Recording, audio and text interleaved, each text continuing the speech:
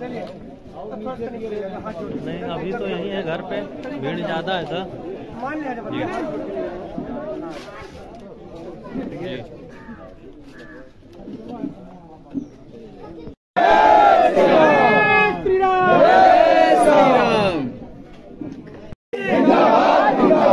विधायक सामने नहीं जिंदाबाद विधायक सामने नहीं जिंदाबाद योगी मोदी सामने नहीं योगी मोदी सामने नहीं गुजर बाबा सामने नहीं गुजर बाबा सामने नहीं एक एक नहीं वो वीडियो बना रहे। फ़ोटो रहे हैं आप तो आप लोग पहना जी जी। जी मोदी जिंदाबाद। जिंदाबाद जिंदाबाद मोदी सामने नहीं जिंदाबाद जिंदाबाद साइड प्रणाम जी साइड से होइए साइड पहनाओ जी। मोदी जिंदाबाद जिंदाबाद योगी मोदी जय श्री राम।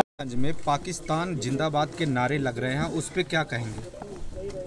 देखिए जिनको मातृभूमि से स्नेह नहीं है और जिनका संकल्प हिंदुत्व और विकास था, ऐसे विकास पुरुष माननीय राघवेंद्र प्रताप सिंह को वहाँ के जो आतंकवादी, नक्सलवादी के संरक्षण दाता हैं, ऐसे लोगों ने एक घृणित काम किया है और ऐसे लोगों को जिनका स्नेह और प्रेम हिंदुस्तान से नहीं है, ऐसे लोगों को हिंदुस्तान छोड़ के चला जाना चाहिए।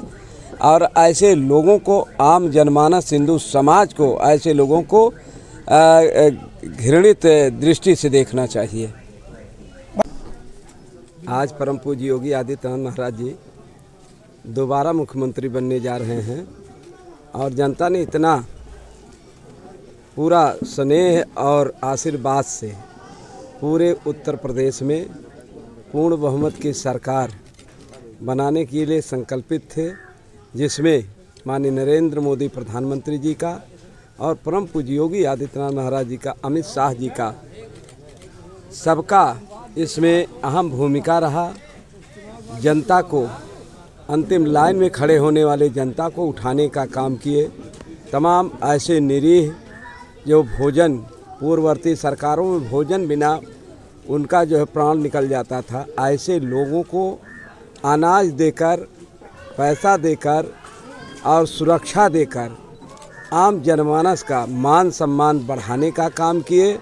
उसी का प्रतिफल रहा कि पुनः उत्तर प्रदेश में भारतीय जनता पार्टी की पूर्ण बहुमत की सरकार और कपिल वस्त विधानसभा से जनता का सेवक श्यामधनी राही को पुनः अपना आशीर्वाद समर्थन देकर विधायक अपना सेवक बनाने का काम किए हैं।